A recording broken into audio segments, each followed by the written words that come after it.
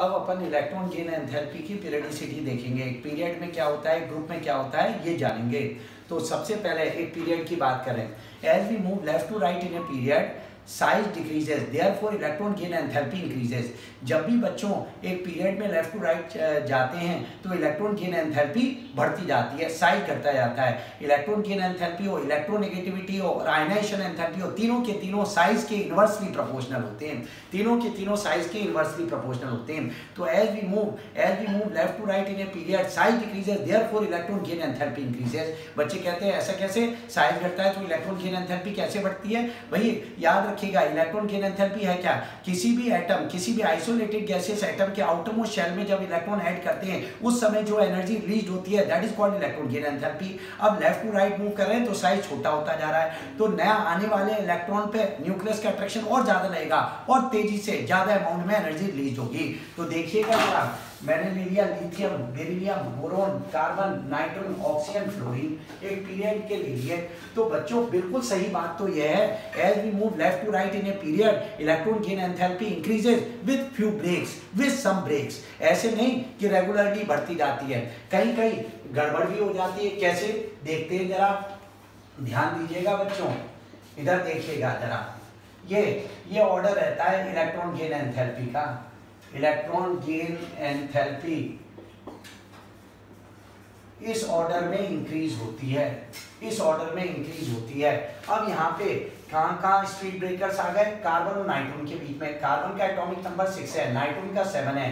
अब कार्बन का सिक्स है तो one S two two S two two P two बच्चों नाइट्रोजन का सेवन है। One S two two S two two P three अब होनी ज़्यादा चाहिए थी इलेक्ट्रॉन गेन एंथैल्पी नाइट्रोजन की आ, क्यों? लेफ़्ट टू राइट जा रहे हैं इसका साइज़ छोटा है। लेकिन लेकिन याद रखिए नाइट्रोन की इलेक्ट्रॉन गेन एंथैल्पी की वैल्यू कार्बन से कम हो जाती है। ऐसा क्यों? नाइट्रोजन का ऑलरेडी हाफ़ फ़ील्ड कॉन्फ़िगरेशन है स्टेबल कॉन्फ़िगरेशन है। इसमें इस, अपन को एक इलेक्ट्रॉन ऐड करना है। जब भी कभी किसी भी स्टेबल कॉन्फ़िगरेशन में से इलेक्ट्रॉन निकालना हो या ऐड करना हो ये दोनों की दोनों ही प्रोसेस टफ होती हैं। इलेक्ट्रॉन भले ही ऐड करना हो अपन को किसी स्टेबल कॉन्फ़िगरेशन में आ, ये टफ प्रोसेस है।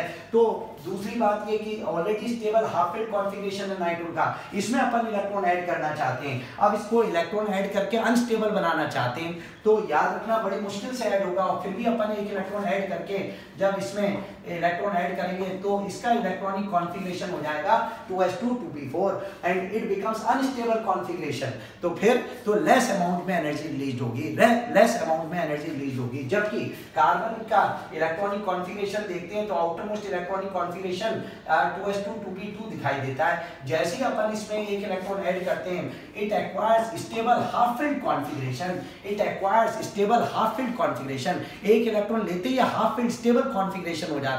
और ह्यूज क्वांटिटी में एनर्जी रिलीज़ कर देता है। इसलिए कार्बन की इलेक्ट्रॉन गेन एंथैल्पी नाइट्रोन से ज़्यादा होती है। कार्बन फैमिली के मेंबर्स की ज़्यादा होती है नाइट्रोन फैमिली के मेंबर से। तो कार्बन की ज़्यादा होगी नाइट्रोन से। सिमिलरली सिमिलरली फॉस्फोरस की ज़्यादा हो जाएगी। या सॉरी सिलिकन की ज़्यादा हो जाएगी फास्फोरस से सिलिकन की ज़्यादा हो जाएगी फास्फोरस से। इसी प्रकार बच्चों लिथियम और बेरिलियम का केस भी है। कैसे? लिथियम का एटॉमिक नंबर थ्री बेरिलियम का फोर लिथियम का इलेक्ट्रॉनिक कॉन्फ़िगरेशन फिल किया one s two two s one जबकि बेरिलियम का किया one s two two s two इसका भी फुल फ़ील्ड कॉन्फ़िगरेशन है फ़ील्ड कॉन्फ़िगरेशन है। ये एक इलेक्ट्रॉन नहीं रहना चाहता, फिर भी अपन ज़बरदस्ती देंगे तो एक इलेक्ट्रॉन लेके 2s2 2p कॉन्फ़िगरेशन बना देगा। अनस्टेबल सा हो जाएगा। इसलिए ये इलेक्ट्रॉन एक्सेप्ट नहीं करना चाहता। और ज़बरदस्ती दे देते हैं तो लेस अमाउंट में एनर्जी रिलीज़ होती है। जबकि लिथियम का 2 1s2 2s1 कॉन्फ़िगरेशन है। एक इलेक्ट्रॉन लेने के बाद ये 2s2 field fulfilled configuration acquire कर लेता है, थोड़ा सा स्टेबल हो जाता है तो थोड़ा ज़्यादा अमाउंट में एनर्जी रिलीज़ कर देता है तो लिथियम की इलेक्ट्रॉन गेन एंथैल्पी बेरिलियम से ज़्यादा हो जाएगी सिमिलरली सोडियम की ज़्यादा हो जाएगी मैग्नीशियम से। लेकिन यहाँ एक बात और बच्चों आप लोगों को बताने होगी है वो ये कि ये मेटल्स हैं and metals have the tendency to lose electron not to gain electrons metals have the tendency to lose electron not to gain electrons इसलिए इनके लिए इलेक्ट्रॉन गेन एंथैल्पी का कोई मतलब नहीं होता। क्यों? ये इलेक्ट्रॉन गेन करना पसंद ही नहीं करते। ये तो इलेक्ट्रॉन त्यागने की प्रॉपर्टी रखते हैं। सिंस दीज आर मेटल्स इधर थोड़ी सी दिक्कत थी। ये ध्यान रखना है आपको। तो अब अपन को याद रहा कि एक पीरियड में, एक पीरियड में इन पीरियड की बात जब करते हैं पीरियड की बात करते हैं। As we move left to right in a period electron gain enthalpy increases with some breaks with some breaks अब एक ग्रुप की बात करेंगे। एक ग्रुप की बात करेंगे। ध्यान रखिएगा जरा। एक ग्रुप में क्या होगा? एक ग्रुप में तुम्हें सभी को पता है कि as we move down the group size increases और साइज़ इंक्रीज होगा तो इलेक्ट्रॉन गेन एंथैल्पी घटनी चाहिए। बात बिल्कुल सही है और घटती भी है। As we move down the group size increases due to the increase in the size electron gain enthalpy decreases electron gain enthalpy कम होगी। क्यों? साइज़ जैसे जैसे बढ़ता जाएगा, उसके न्यूक्लियस का अट्रैक्शन अपने खुद के आउटर मोस्ट शेल के इलेक्ट्रॉन पे कम हो जाएगा। अब नया इलेक्ट्रॉन अगर ऐड भी करेंगे तो उस पर न्यूक्लियस का अट्रैक्शन नहीं के बराबर होगा।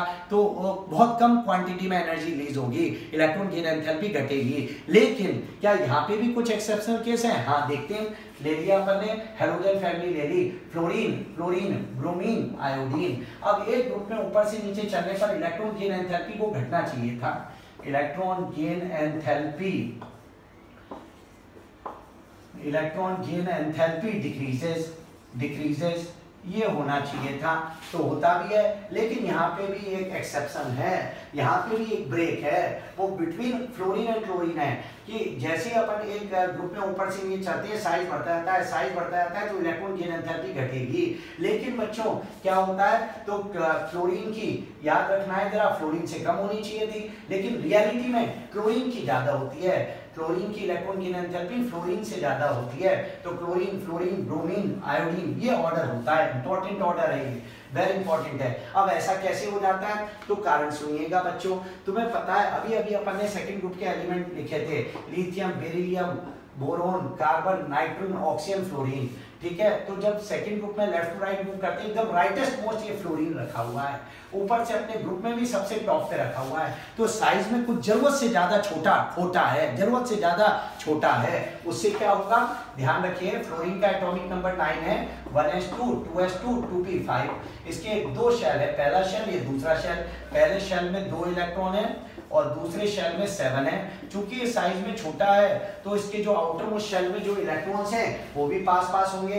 अब इनकमिंग इलेक्ट्रॉन ये ऐड होने के लिए चला आ रहा है इनकमिंग इलेक्ट्रॉन तो चूँकि फ्लोरीन का साइज़ कुछ ज़रूरत से ज़्यादा छोटा है, जो अपने ग्रुप में भी टॉप पे रखा है और पीरियड में भी एकदम राइटेस्ट मोस्ट रखा है तो ज़रूरत से ज़्यादा छोटा है। तो बच्चों, इसके आउटर मोस्ट शेल में जो सेवन इलेक्ट्रॉन है, वो भी पास पास होंगे। पास पास होंगे तो इनकमिंग इलेक्ट्रॉन जो होगा, आने वाला नया इलेक्ट्रॉन जो होगा, आगंतुक इलेक्ट्रॉन जो होगा इनकमिंग इलेक्ट्रॉन जो होगा, इसके आउटर मोस्ट शेल के इलेक्ट्रॉन उसको रिपेल करेंगे, उसको आने नहीं देंगे रिपेल करेंगे, जबकि न्यूक्लियस अट्रैक्ट करेगा, इसको आने देगा, आने वाले इलेक्ट्रॉन को अट्रैक्ट करेगा, पर ये रिपेल करेंगे। तो इस रिपल्सन को ओवरकम तो करने के लिए थोड़ी सी एनर्जी यहीं वेस्ट हो जाती है। इस रिपल्सन इस इलेक्ट्रॉन इलेक्ट्रॉन के बीच में होने वाले, इसके आउटर मोस्ट शेल में जो इलेक्ट्रॉन्स है और इनकमिंग इलेक्ट्रॉन है, उनके बीच में लगने वाले रिपल्सन को ओवर करने के लिए काफ़ी एनर्जी यहीं वेस्ट हो जाती है। अल्टीमेटली न्यूक्लियस अट्रैक्ट करके इसको मिला तो लेता है अपने अंदर, लेकिन लेस अमाउंट में एनर्जी रिलीज़ होती है।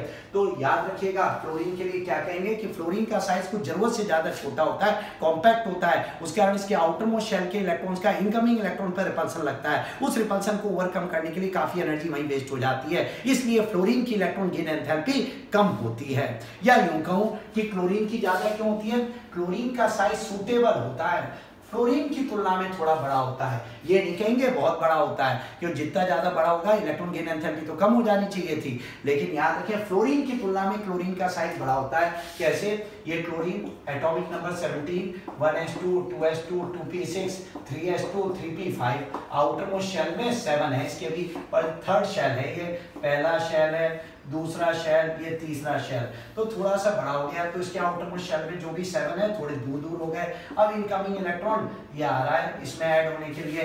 तो चूँकि क्लोरीन का साइज़ क्लोरीन की तुलना में थोड़ा सा बड़ा होता है तो इसके जो आउटर मोस्ट शेल के सेवन इलेक्ट्रॉन है, दूर दूर रहते हैं। तो इनकमिंग इलेक्ट्रॉन पर इनके आउटर मोस्ट शेल के इलेक्ट्रॉन्स का रिपल्सन नेग्लिजिबल लगता है, बिल्कुल नहीं के बराबर लगता है, नहीं के बराबर। क्लोरीन के आउटर मोस्ट शेल के इलेक्ट्रॉन्स का रिपल्सन इस इनकमिंग इलेक्ट्रॉन पे नेग्लिजिबल लगता है, और न्यूक्लियस का अट्रैक्शन इस इनकमिंग इलेक्ट्रॉन पे अच्छे से लगता है, जल्दी से बुला लिया जाता है ह्यूज अमाउंट में एनर्जी रिलीज़ होती है। मतलब ये है कि क्लोरीन का साइज़ स्लाइटली बड़ा होने के कारण फ्लोरीन से इसके आउटर मोस्ट शेल के इलेक्ट्रॉन का इनकमिंग इलेक्ट्रॉन पे रिपल्सन लीस्ट रहता है, नहीं के बराबर। इसलिए इसकी इलेक्ट्रॉन गेन एंथैल्पी की वैल्यू ज़्यादा होती है। तो chlorine has highest electron gain enthalpy in the whole periodic table chlorine की तो पूरी पीरियोडिक टेबल में सबसे ज़्यादा इलेक्ट्रॉन गेन एंथैल्पी होती है। अब एक ऐसा ही एग्जांपल और है। ध्यान रखना है बच्चों। ऑक्सीजन फैमिली का ले लिया इंपॉर्टेंट है, बहुत आ चुका है एग्ज़ाम में। Oxygen sulphur selenium tellurium polonium ये ले लिया पोलोनियम हालाँकि रेडियो एक्टिव है लिख दिया तो लिख दिया। तो याद रखिए, इसमें भी इलेक्ट्रॉन गेन एंथैल्पी एक ग्रुप में ऊपर से नीचे चलने पर डिक्रीज होगी डिक्रीज होती है। लेकिन क्या यही ऑर्डर होता है? तो क्या सबसे ज़्यादा ऑक्सीजन की होती है? नहीं नहीं। तो इसमें क्या ऑर्डर होगा? ऑक्सीजन का साइज़ तो ज़रूरत से ज़्यादा छोटा हो जाता है कॉम्पैक्ट होता है तो इसकी तो कम होनी चाहिए, बिल्कुल सही है। तो सबसे ज़्यादा किसकी होगी? सल्फ़र की होती है सल्फ़र अब बच्चे कहते हैं, सोचते हैं कि क्लोरीन के बाद जैसे फ्लोरीन आ जाता था, वैसे ऑक्सीजन आ जाना चाहिए। लेकिन नहीं बच्चों सल्फ़र के बाद सिलीनियम फिर टेलोरियम फिर पोलोनियम और ऑक्सीजन लास्ट में होता है।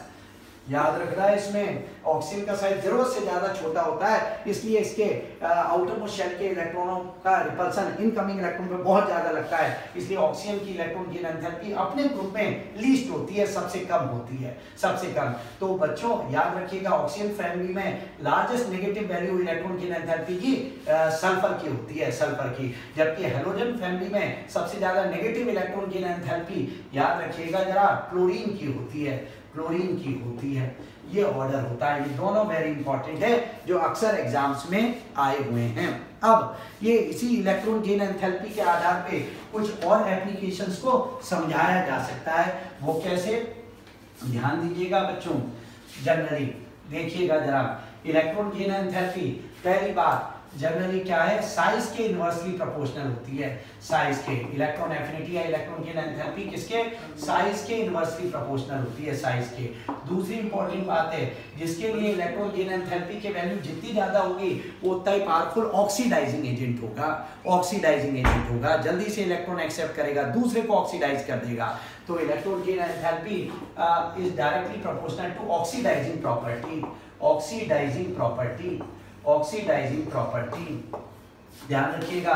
तीसरी खास बात है बच्चों इलेक्ट्रॉन की एंथैल्पी किसकी ज़्यादा होगी? जिसके सामान्यतः आउटर मोस्ट शेल में इलेक्ट्रॉन ज़्यादा हो। और तुम्हें तो पता है we move left to right in a period the number of electrons in outermost shell increases तो इलेक्ट्रॉन की एंथैल्पी याद रखिए आउटर मोस्ट शेल में नंबर ऑफ़ इलेक्ट्रॉन्स के डायरेक्टली प्रोपोर्शनल होती है। इलेक्ट्रॉन की enthalpy number of electrons number of electrons in the outermost shell in the outermost shell. In the outermost shell. की डायरेक्टली प्रोपोर्शनल होती है except noble gases except noble gases जिसके लिए electron की enthalpy की वैल्यू ज़्यादा होगी, उसकी जनरली इलेक्ट्रोनेगेटिविटी वगैरह भी ज़्यादा होती हैं जनरली ज़्यादा होती हैं। तो ये अपन ने इलेक्ट्रॉन गेन एंथैल्पी को थोड़ा सा देख लिया। ठीक है। अब अपन इसके बाद आगे नेक्स्ट टाइम पे पढ़ेंगे